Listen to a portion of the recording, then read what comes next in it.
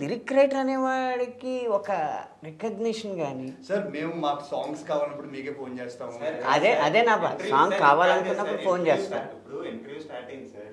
One by one వెళ్తున్నాము అడుగుతున్నాం కదా సార్. వన్ బై వన్ అందరూ చెప్పేశారండి. ఇంటర్వ్యూలో ఉన్న వాళ్ళు అందరూ అందరి గురించి చెప్పేశారు. మీ యాక్టింగ్ గురించి ఇంకా చెప్పలేదు కదా. మీ యాక్టింగ్ చాలా బాగా చేశారు. చాలా బాగా చేశారు. మీ యాక్టింగ్ నిజంగా డాన్స్ కూడా చాలా యాక్టింగ్ ఓకే అండి. ఒక ఒక పాట మిలియన్ వ్యూస్కి వెళ్తే ఆ సినిమా బిజినెస్ మారిపోదు అంటే కానీ మేము సార్, అంటే ఇంకా మా మా వాల్యూ ఒక అంటే మా పాట వాల్యూ అంటే ఒక కథ బిజినెస్ ఉన్నది. అయిపోతుంటే మా వాల్యూ లేదా? మీ మీ వాల్యూ మీరు అందరూ ఇచ్చేసుకున్నారు కదండి. ఓ పని చేయండి. ఇక్కడ వాదనలో కూడా మీరు మీరు సపోర్ట్ చేసుకుంటే హ్యాపీగా మీ మీ క్రెడిట్లు మీరు తీసేసుకోండి. మేము మాత్రం ఆ పాటలు అర్జెంట్ సార్, నా అయినప్పుడు క్రెడిట్ కూడా నేను మా డైరెక్టర్ ఇచ్చాను. నా క్రెడిట్ కూడా మా కెమెరామెన్ ఇచ్చాను. నా క్రెడిట్ అవును తీసుకోండి మీరు మీరు డైరెక్టర్ ఇస్తే డైరెక్టర్ మీరు ఇస్తారు క్రెడిట్ నేను హీరో దాన్ని ఇప్పుడు హీరో డైరెక్టర్ వల్ల వల్ల కాకుండా ఒక లిరిక్ వల్ల నేను హైలైట్ నేను అలా చెప్తా సార్. లిరిక్ వల్ల హైలైట్ అయ్యారని చెప్పక్కర్లేదు. ఎవరెవరు సినిమా సక్సెస్ వెనకాల ఉన్నారు అంటే కనీసం లిరిక్ రైటర్ అనేవాడు కూడా ఒకడు ఉన్నాడని చెప్తే బాగుండేది. కానీ. ఏంటంటే పాట అర్జెంట్ అయినప్పుడు లిరిక్ రైటర్ అవసరం అండి. ఆ రాత్రుళ్ళు పగళ్ళు నిద్రలు మాన్పించేసైనా రాసేస్త రాయించేసుకుని ఆ బాగున్నంతసేపు ఆ పాట బాగుందని చెప్పడం తర్వాత మర్చిపోవడం. అదేలేండి. అంటే పాట ఇలాగా పాట ఇలా చిటికేయగానే వచ్చేస్తుందండి ఆలోచించుకుని. సార్ మీరు అన్నట్టుగానే సినిమాకి అందరూ important sir. Sir production boy కూడా ఇంపార్టెంట్ సార్. మేము అందరికి వాల్యూ ఇస్తాం. మీరు అడిగిన క్వశ్చన్ ఇప్పుడు నేను మా ప్రొడక్షన్ బాయ్ గురించి చెప్పలేము మా మేనేజర్ గురించి చెప్పలేము. వాళ్ళందరూ ఉంటేనే సినిమా అవుద్ది. మీ పేరు చెప్పడం మర్చిపోయామో కానీ మీరు లేకుండా కూడా సినిమా హిట్ అవుద్ది అని మాత్రం మేము సార్ అనట్లేదు ఇంకా ఇంటర్వ్యూ ఎక్కడ అయింది సార్? నాకు అర్థం కాదు ఇప్పుడే స్టార్ట్ అంటే అయ్యింది సరే ఆ- అలా అవసరం లేకపోతే మిమ్మల్ని ఎందుకు పిలుస్తున్నాం నాలుగు రోజులు ఎవరు మాట్లాడలేదు సార్? మీరు ఎందుకు సీరియస్ అవుతున్నారు సార్.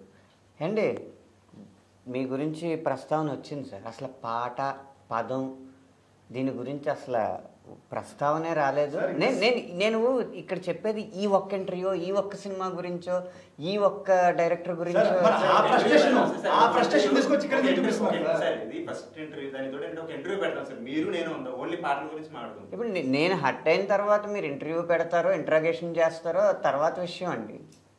మీరు సినిమా సక్సెస్ వెనకాల ఎవరున్నారంటే మహా అయితే హీరో పేరు హీరో డైరెక్టర్ పేరు డైరెక్టర్ హీరో పేరు. కాకపోతే అసలు ఈ అన్నిటి గోలలో లిరిక్ రైటర్ అన్న వాడికి ఎక్కడ స్థానం లేదు. పాట అర్జెంట్ అయితే కనీసం మాట్లాడివ్వండి సార్. పాట అర్జెంట్ అయితే మాత్రం పాట అర్జెంట్ అయితే మాత్రం పగలో రాత్రులు మేలుకుని రాసిచ్చారు? అప్పుడు మాత్రం మీరు గ్రేట్ అండి. అసలు ఇంత ఇలా ఇలా రాశారండి ఇవన్నీ ఓకే.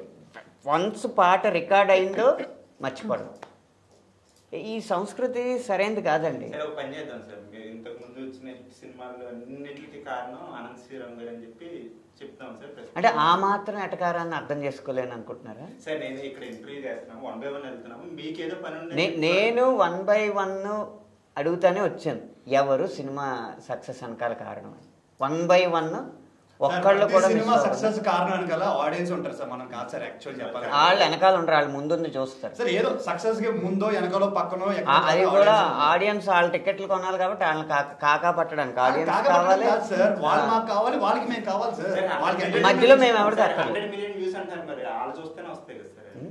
వాళ్ళు చూస్తే వాళ్ళకి నచ్చితే చూస్తారు. హండ్రెడ్ మిలియన్స్ పాటలు వ్యూస్ ఏం సందేహంలో సాంగ్ రాశారు? నా సాంగ్ అది. నా మొదటి సినిమాలో. మీరు ఏం సందేహంలో రాశారు? రాశాను. ఓకే నేషనల్ అవార్డు వచ్చింది. వచ్చిందా లేదా సార్? ఏడు అవార్డులు వచ్చింది ఏడు అవార్డులు వచ్చాయి. ఒక్కదానికి నన్ను పిలిచారా? తీసుకుంది ఎవరు? మీరే? కదా నన్ను పిలిచారా? నేను హట్ అయ్యాము అప్పుడు. చెప్పండి ఇప్పుడు చెప్పండి మేము హట్ అయ్యామా? Award hurt? అవార్డు-? ఏడు అవార్డు వచ్చింది ఒక్కసారి యాక్ట్ చేసింది నేను డైరెక్ట్ చేసింది అవసరం శ్రీనివాస్ గారు. మమ్మల్ని పిలవలేదు వీళ్ళిద్దరు వీళ్ళు వెళ్ళిపోయారు మ్యూజిక్ డైరెక్టర్ ఈయన. ఏంటి అవార్డు అవార్డులు నిర్వహించేది నేనా? మరి ఇప్పుడేమో సినిమాలో ఆడియన్స్ ఇప్పుడు క్వశ్చన్ అడిగిపించింది అవార్డులు నిర్వహించేది నేను? నన్ను పిలిస్తే. డిబేట్ పెట్టుకోవడానికి మనం మాట్లాడుకోవాలి సార్. Debate- debate గురించి ఉండండి సార్. నాకు తెలిపోను సార్. మేము మా సినిమా ప్రమోట్ చేసుకుంటాం. నాకు ఉండాల్సిన అవసరం లేదు. ఒకటి విషయం మాత్రం. గుర్తుపెట్టుకోండి. లిరిక్ రైటర్ అనేవాడిని గుర్తుపెట్టుకోలేకపోతే కష్టం అండి. సార్ సినిమా సక్సెస్ అనేది అందరికి సక్సెస్ సార్ అది. సార్ అదే చెప్తున్నాను సార్ అది వేరే సినిమా ఫ్రస్ట్రేషన్ తీసుకొచ్చి మన సినిమా పెడితే ఎలా కుదురుతుంది సార్. ఈ సినిమా హిట్ అవుతుంది. అందరికీ నమ్మకం ఉంది ఏ కారణం వల్ల ఈ సినిమా హిట్ అవుద్ది అనుకుంటున్నారు? నేను ఒక మాట చెప్తాను నేను చెప్పనా? ఉమ్. పవన్ చెప్తాడు. నేను చెప్తాను లాస్ట్లో ఇది ఎవరి గురించి వాళ్ళు చెప్పుకోవాలి? ముందు మ్యాటర్ చెప్పాలి ఎవరి గురించి వాళ్ళు చెప్పుకుని ఆపేయాలి. వాకౌట్ ఎలా అంటే మీ అంటే ఇప్పుడు ఆన్సర్కి లేదు నేను బాగా యాక్ట్ చేశాను కాబట్టి నా వల్ల నేను బాగా తీసాను అని చెప్పి నా వల్ల.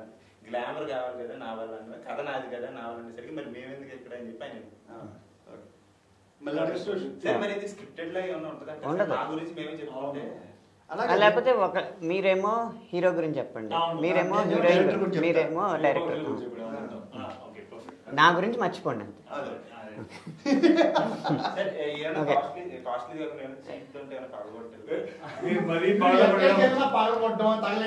అవి ఏం. అక్కర్లేదు అవి అక్కర్లేదు. మామూలు వెళ్ళిపోవడం బెటర్ ఓకే రోలింగా 不拉散。